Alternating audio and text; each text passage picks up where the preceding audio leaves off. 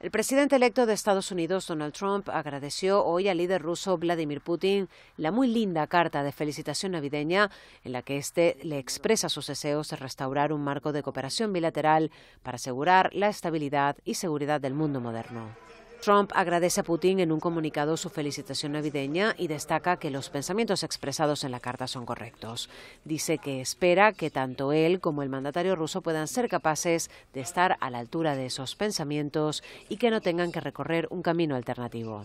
En su misiva enviada el pasado 15 de diciembre, Putin resalta la importancia de restaurar las relaciones bilaterales ante los serios desafíos globales y regionales que ambas naciones han tenido que afrontar en años recientes, actuando de manera pragmática y constructiva para dar pasos reales hacia la restauración del marco de cooperación bilateral en diferentes áreas.